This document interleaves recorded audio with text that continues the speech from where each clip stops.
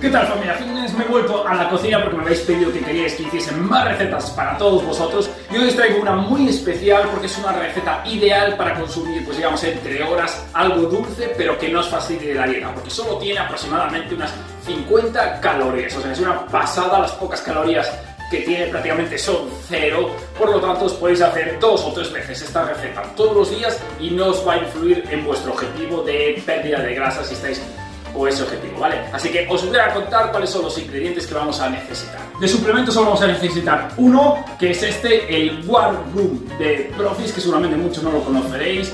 Este suplemento, chicos, no os va a aportar ni proteínas, ni os va a dar energía, ni os va a hacer eliminar grasa. Me vais a decir, David, entonces, ¿para qué quiero este suplemento? Pues porque es un espesante de la comida. Es decir, podremos transformar comidas líquidas en sólidas de forma que nos va a saciar mucho más, nos va a llenar mucho más sin aportar calorías extras. Primer ingrediente, chicos, leche de almendras sin azúcares añadidos. Vamos a echar unos 200 mililitros.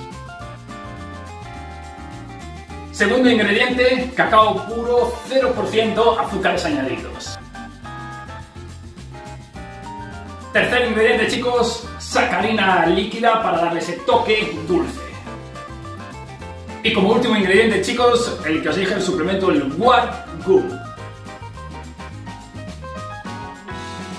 Ahora simplemente lo tenemos que batir durante un minuto y vais a ver lo espeso que queda gracias al suplemento. Fijaos lo líquido que está ahora, totalmente líquido, es leche de almendras, vamos a batirlo.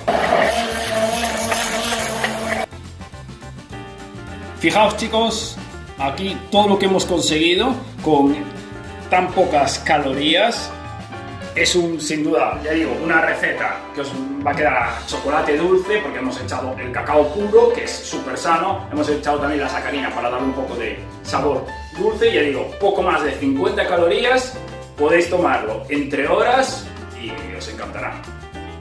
Eh, espero que lo hagáis y que me lo pongáis en comentarios.